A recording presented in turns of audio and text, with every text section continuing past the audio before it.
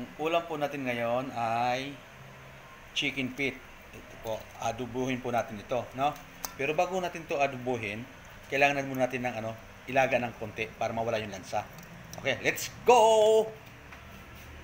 Ilaga muna natin, chow. Yan, takpan muna natin. Para isang kulo lang, para lang matanggal yung lansa. Yan. Habang ginagawa natin yan, gagayatin natin yung mga pangunahing ingredients no ng ating ah, ah, adobong chicken feet. Ito po ay ang ating mga sibuyas at saka ang sibuyas at bawang. Ayan. Go. Dito siya nagtutok. Mm. Ang i ano natin ay laurel, kunti lang, sili para medyo manghang ng konti, paminta, yan, paminta, tapos bawang at sibuyas. Yan po ang ano natin. At lalagyan po natin ng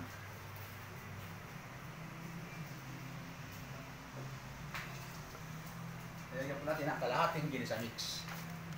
Ayan po, kalahating ginisa mix. Okay? Cut mo. Cut mo. Okay, gayatin muna natin itong ating bawang. So, idurogin natin yung hiwang maliliit lang.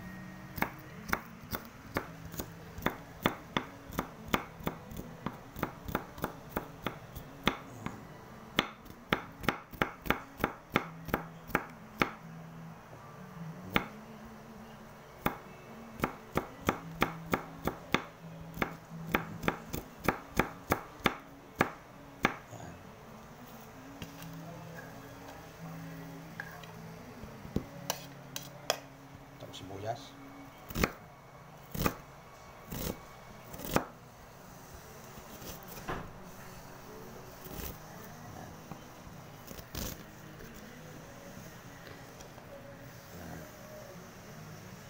Okay. Tapos tingnan muna natin yung pinakuluan natin, ano? Paan ng manok. Tulo na siya. Yun o. Ayan. Ang ganyan natin kasi ang unang sabaw kasi nito is malansa. Sobrang lansa. Kaya dapat eh pinapakuluan muna. Ito paano. Bago natin siya adubuhin. Ang unang sabaw kasi is yun. Super lansa.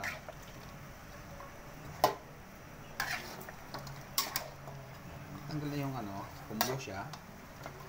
At namutla na lahat. Itapon natin yung sabaw or ilipat natin sa ibang ano.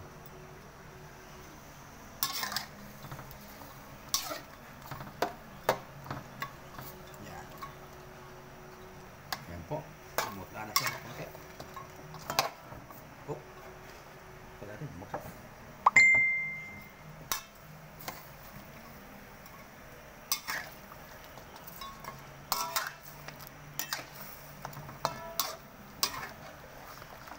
Masarap po ito pagka niluto, pag inaadobo, yung durog na durog. Yung nadudurog siya, yung malambot sa pati ito. Yung parang uh, kunti pa, takpan natin ng kunti. Takpan. Yan, kumulo na.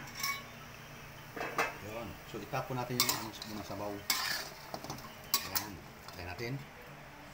Tapon natin. Tapon sabaw.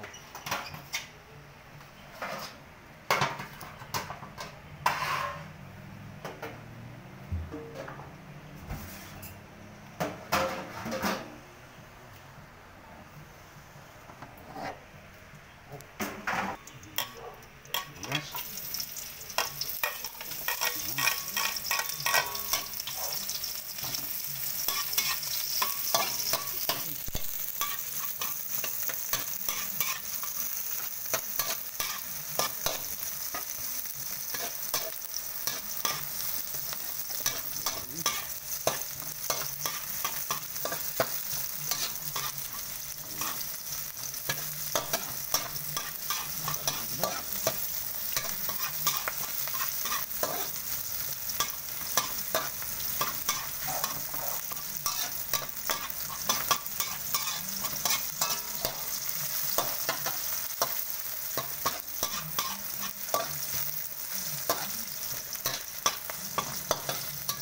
Yan.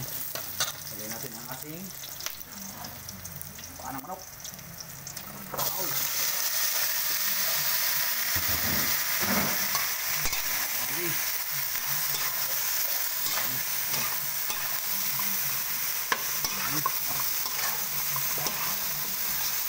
Ilagay natin yung ano, laurel at paminta. Tak.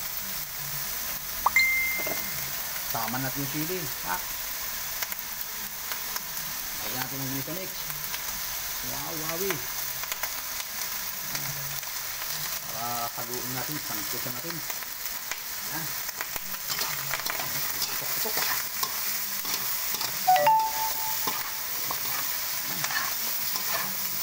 Tapos, lagyan natin ng tuyo. Pero paminta. Lagyan natin paminta. Wak, wak. At tuyo. Yan, tuyo. Pak, pak, pak. Yan. Ha? Oh, hindi pa. Ayun na.